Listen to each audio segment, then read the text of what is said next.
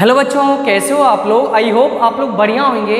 बढ़िया से लेक्चर्स को अटेंड कर रहे हो और किसी भी लेक्चर्स को अटेंड करने में आपको थोड़ी सी भी परेशानी नहीं हो रही है। बच्चों हम एक एक करके आप लोगों के लिए छोटे छोटे lecture ten ten twelve minutes का आपके लिए तैयार करते हैं ताकि आप लोगों को आसानी से टॉपिक कंटेंट अच्छा से समझ में आए और एक एक टॉपिक के ऊपर एक एक लेक्चर ही आप लोगों के लिए पूरा डिटेल से बुक की एक एक लाइन आप लोगों के सामने ला रहे हैं। बस आप लोग प्रैक्टिस करिए लेक्चर्स को रिवाइज दो से तीन बार देखिए, आप लोगों को बहुत अच्छा समझ में आएगा। क्वेश्चन आंसर जो भी बीच में आते हैं, उनको ज़रूर आप लोग लर्न करिए। देखिए चैप्टर अभी जो हम चैप्टर नंबर फोर्टीन है, ये कंसेप्चुअल चैप्टर है, ज़्यादा कोई इसमें डेप्थ नहीं है, कोई न्यूमेरिकल से कोई फिजिक्स केमिस्ट्री से रिलेटेड इतना डेप्थ में नहीं है। फिर भी आप चैप्टर को कंप्लीट करिए। देखो, हर चैप्टर की अपने अपने में इंपॉर्टेंस होती है, क्योंकि हमारी बुक में दिया गया तो हमारे लिए इंपॉर्टेंट तो है ही है। तो आप लोग क्लास टेंथ के अकॉर्डिंग किसी भी चैप्टर को हल्के में ना लें। एक एक चैप्टर की एक एक लाइन को अच्छे से आप लोग बच्चों पढ़ें। बच्चे, आज हम पढ़ेंगे वाइंड एनर्जी के बारे में विंड एनर्जी के बारे में। ठीक है बच्चे? प्रीवियस लेक्चर में आपको जैसा कि इन्फॉर्म होगा, हमने बायोमास जैव मात्रा, जैव ऊर्जा के रूप में पढ़ा था और उनके बारे में काफ़ी डिटेल से हमने जाना था क्या होते हैं ये सब चीज़ें। आज हम एक नई एनर्जी के बारे में जाने क्योंकि हम लोग इंप्रूवमेंट कर रहे हैं, अपने जो भी ट्रेडिशनल सोर्सेज हैं, उनमें किस तरीके से इंप्रूवमेंट करें ताकि हमें एनर्जी ज़्यादा से ज़्यादा मात्रा में ऑप्टेंट हो। तो उन्हीं सब चीज़ों पर के बारे में आज ज़िक्र करेंगे बच्चों। तो आज का टॉपिक है विंड एनर्जी जो कि आपका page number English medium two पर है बच्चों आपका। अच्छे तरीके से आप लोग पढ़ा करिए। लेक्चर्स को, सभी लेक्चर्स को सीक्वेंस से ज़रूर देखें ताकि आपको बेटर से बेटर समझ में आए बच्चों। ठीक है? आइए। बच्चों, आज विंड एनर्जी के बारे में जानेंगे। आखिरकार होता क्या है ये? सुन चुके हम कई बार इसको, देख भी चुके होंगे। हम लोगों ने ऐसे डायग्राम आपको पिक्चर में जो दिख रहा है। लेकिन पढ़ना तो ज़रूरी है। समझना भी ज़रूरी कैसे यूज़ में आता है, समझिए। We saw in class ninth how unequal heating of the land mass and water bodies by the solar radiations generates air movement and cause winds to blow कक्षा नाइन में हमने ये देखा कि किस प्रकार से सूर्य के विकिरणों द्वारा भूखंड और जलाशयों के असमान तप्त होने के कारण वायु की गति उत्पन्न होती है और पवनों का प्रभाव होता है। यानी heating effect uneven heating effect के कारण। यानी कहीं पर सूर्य का किरण ज़्यादा पड़ रहा है, कहीं पर सूर्य का किरण कम पड़ रहा है तो कहीं की हवा गर्म हो रही है तो कहीं की हवा ठंडी है। असमानता क्रिएट हो रहा है असमानता उत्पन्न हो रहा है, इसके कारण हवाएँ चलती है, पवनों का प्रभाव होता है। The kinetic energy of the wind can be use to do work This energy was harnessed by windmills in the past to do mechanical work. पवनों की गतिज ऊर्जा का उपयोग कार्यों को करने में किया जा सकता है। जो हवाओं की ऊर्जा है, जो विंड एनर्जी है, इसका उपयोग कोई काम करने में भी हम कर सकते हैं।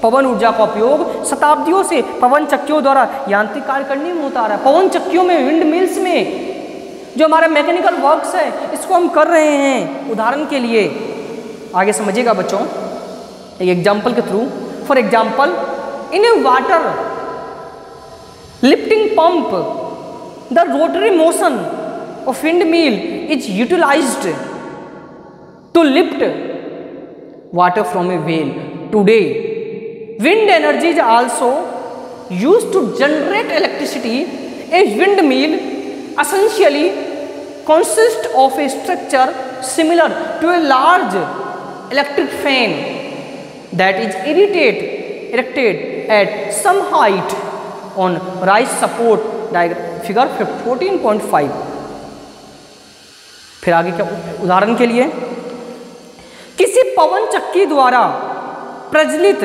प्रचालित प्रचलित जल पंप यानी पा, पानी को ऊपर उठाने वाला जो पंप होता है में पवन चक्की की पंखड़ियों को घूर्णी गति का उपयोग कुएँ से जल खींचने के लिए होता था। पहले इसका उपयोग कुएँ में से क्योंकि हवाएँ चलेगी पंखड़ी घूमेगी उससे कनेक्शन किया जाता था तो पानी भी ऊपर खींचा जाता था।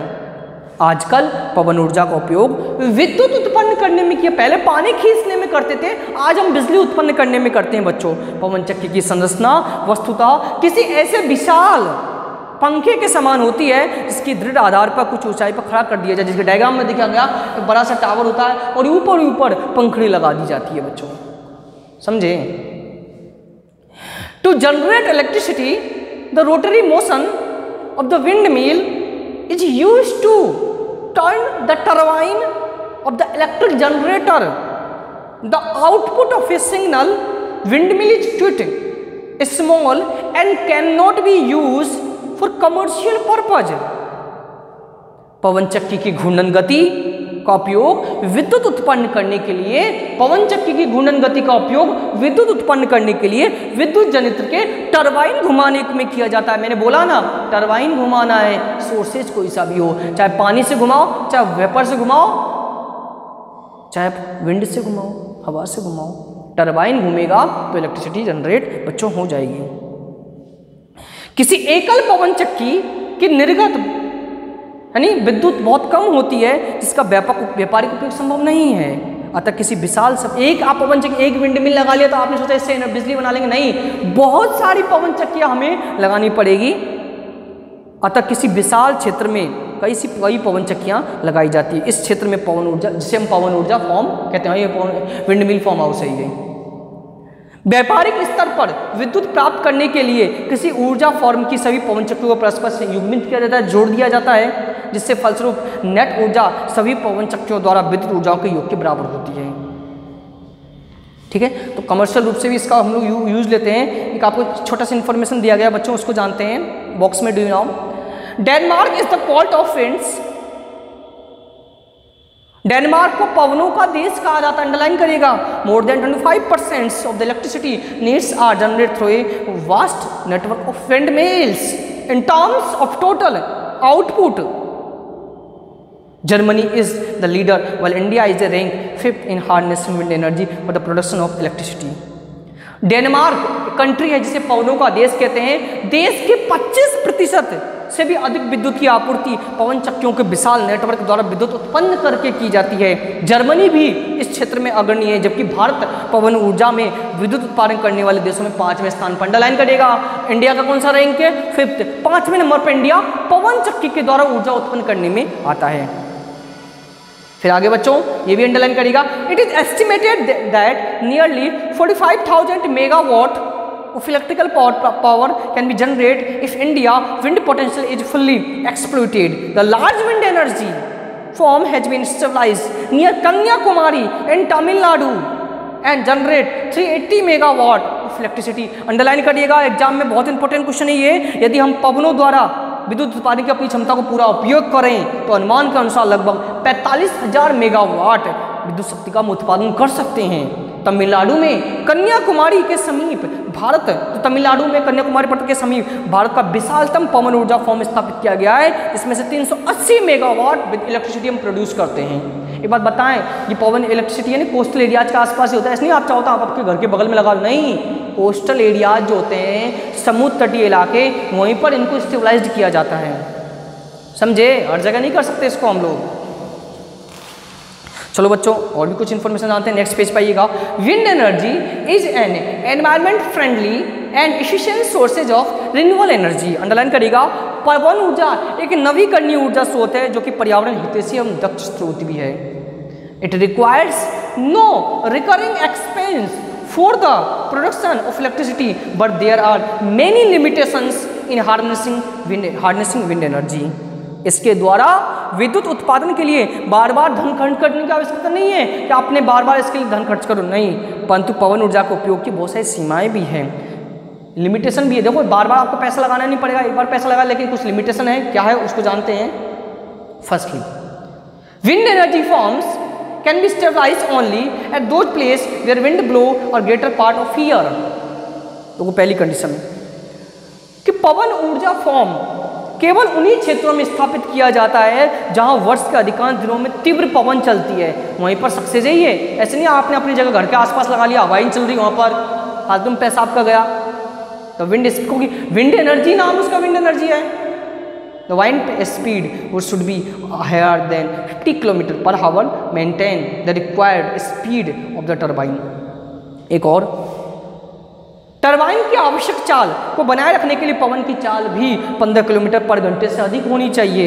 इसके साथ ही तभी जाकर मेंटेन होगा कुछ एयर की speed furthermore there should be some backup facilities like like storage cells to take care of energy needs during a period there is a no wind देखिए, उसके अलावा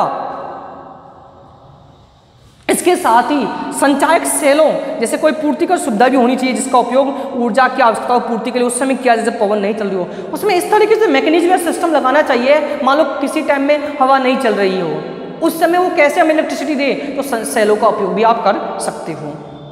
करना पड़ता है sorry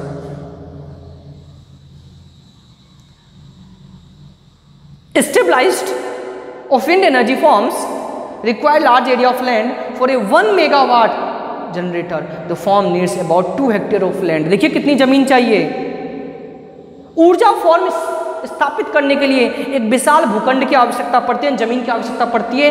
वन मेगावाट के जंत्र के लिए, के पॉन फार्म के लिए लगभग दो हेक्टेयर भूमि चाहिए आपको। देखो कितनी ज़मीन चाहिए। इनिशियल कॉस्ट ऑफ़ मात्र वन मेगावाट की बात चल रही है यहाँ पर। The initial cost of stabilized of the form is quite high. Moreover, since the tower and blades are exp exposed to the vagaries of nature like sun, rain, sun, storm and cyclone, they need a high level of maintenance. दूसरी बात maintenance भी ज़्यादा होता है इनका यानी पवन ऊर्जा form स्थापित करने की अत्यधिक लागत होती है आरंभिक लागत जो होती है ना इनिशियल इनिशियल जो पैसा लगता है बहुत ज़्यादा लगता है इसके अतिरिक्त पवन चक्रों के दृढ़ आधार तो बेस उसका हम खड़ा कर रहे हैं जो टावर की तरह। और जो पंखड़ियाँ हैं वायुमंडल में खुला होने के कारण, अंधर, चक्रवात, साइक्लोन, धूप आदि कारण प्राकृतिक थपेड़ों को सहन करता है। हवाएँ तो खुले आसमान के जो ब्लेड है, पंखड़ी लगी हुई रहती है, बरसात आ रहा है, कई सारी प्राकृतिक घटनाएँ होती है। तो इसके लिए उच्च रख रखाव को टूट जाए पंखड़ी तो इसके लिए हाई मेंटेनेंस की हमें ज़रूरत पड़ती है। तो लागत उसका बार बार देख रेख ज़्यादा करना पड़ता है। ठीक है बच्चों? तो ये आपका था। कुछ क्वेश्चंस दिए गए, उन क्वेश्चंस को आप सॉल्व करिएगा। और विंड एनर्जी आपका कंप्लीट हुआ, बहुत अच्छा टॉपिक था। लेकिन जहाँ पर हवाएँ चलती हैं, वहीं पर सबसे जाइए क्वेश्चन यदि आज आई मेन टू से। ठीक है? मेंटेनेंस बहुत महँगा पड़ता है। इस तरीके से बच्चों जो जो क्वेश्चन बन रहे हैं इंपॉर्टेंट क्वेश्चन को अंडरलाइन करिएगा। लर्न करिए। बोर्ड की अच्छी प्रिपरेशन करिए, ताकि आप साइंस सब्जेक्ट में, विज्ञान विषय में आप अच्छे नंबर प्राप्त कर सको। So thank you students thank you for watching this video and attend this session